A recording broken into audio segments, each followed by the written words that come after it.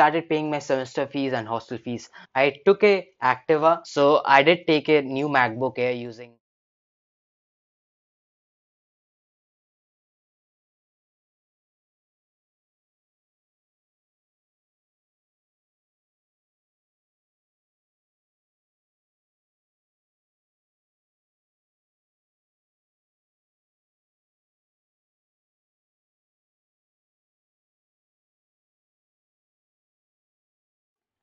Hi everyone, uh, this is Striver here. So today we'll not be solving any problems uh, in this video, but why I'm making this video, I'll state the reason clearly. I actually receive a lot of text uh, over LinkedIn, over Telegram that that bhaiya uh, financial problems. Even in my college, a lot of people uh, say me that I'm not that financially uh, capable. I need a good job or something like that. So this is the reason I am making this video so that you understand that if you have skills, you can even earn something without having a proper job. And I did it and I will explain you how I did it and I'll give you ideas on how can you earn during your college days using programming as one of the main weapons. It was not that I was not financially stable. I'll make one thing clear that why did I chose to make myself financially independent. The first reason is I had a lot of dreams so I did not want to bother any of my parents for the financial thing. Secondly, yeah, it, it doesn't look good, right? For every time Papa ye chahiye, mummy ye chahiye, that doesn't look good. So I decided that I'll be financially independent on myself so that if I want something tomorrow, I can easily get that thing. So during my college days, I used my programming skills to earn some bucks. So and then what I did with those bucks, I'll say you in this video. So let's start. In my college days, I used to participate in all the contests that was going around. And then suddenly someday I wondered that from where does these problems come?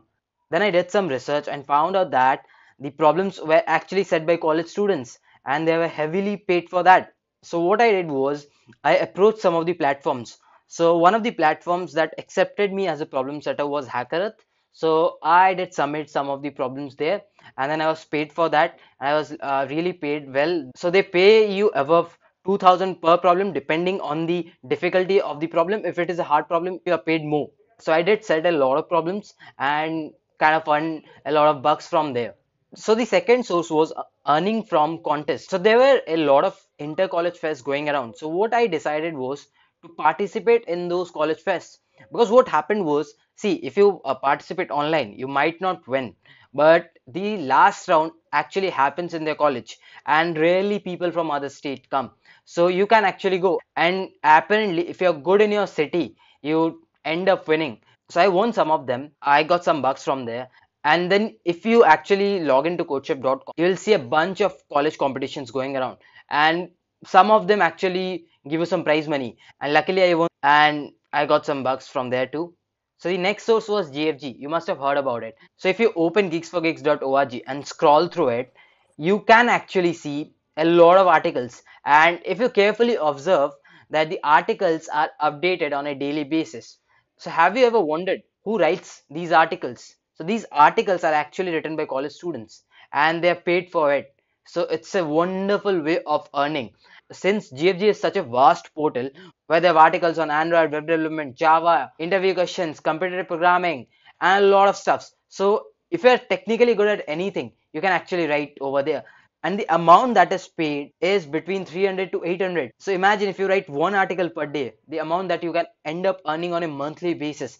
That also working from home. So I started writing in second year and I kept on writing till fourth year. In this span, I actually used to earn a lot of money on a monthly basis from this site using my programming skills. So I'll tell you how do you write articles at GFG. You can go to this link. The link will be in the description and then you can register if you're a new user.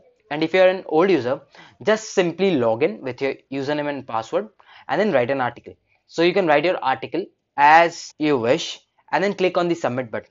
So once you have done that, the team reviews the article and if they find it a fit, they'll publish it and you will be paid on the next month.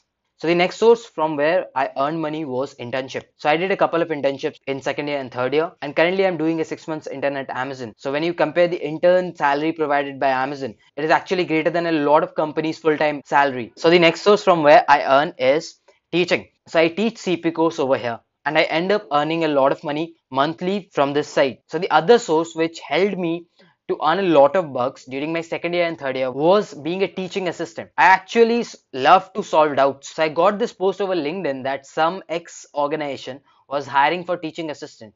So I enrolled as a teaching assistant over there and I was paid monthly over there too. So I got some bucks from there too. So the last source from where I earn is the website that you're currently using. You must have seen an ad floating when you started a video. So that ad gives me some revenue, but then it's not a huge amount, around $1 per 2000 views. So this might be a small amount that I earn from YouTube, but it is my passion which is helping me to earn. And this is what drives me crazy about YouTube, that your passion helps you to earn. So you must be wondering, what did Striver do with all the amount that he earned during his college days? So the first thing that I did was I got my mother a smartphone because she was using this black and white model. After one year, when I had this saving stuff, and when the money started coming on a monthly basis, so I started paying my semester fees and hostel fees. But then the semester and hostel fees were not that much. It was merely 2k per month. But then it felt good because I was paying my expenses on own. So after saving for a while, I took a Activa and I was out of the world when I took it from my own money. After I took this Activa, then I started saving again, and then gradually I took iPhone 6 and eventually upgraded it to iPhone 7. Then in fourth year, my previous laptop broke down, so I did take a new MacBook Air using my savings that I had earned using all those resources I said you in this video. So apart from the ways that I mentioned to earn money, there are a lot more like my friends did freelancing work like developing an Android app or a website for any particular organization. But then I haven't tried this aspect, but my couple of friends have done it and this is a promising way to earn too. Before ending this video, I like to add a couple of points. The first one being I'm nowhere saying that you cannot approach your parents for money. So do not take my words in a wrong way. And the second thing, the video is for them who unfortunately are not that financially stable or they have dreams and they want to accomplish them without actually bothering someone or if they want to become independent on their own. So this is all about the video. Now let's talk about connecting. If you want to connect me over LinkedIn, this is my profile. If you want to join our Telegram channel, the link is in the description. If you have liked the video, press the like button. If you have disliked the video, press the dislike button. If you are new to my channel, do not forget to subscribe and to press the bell icon.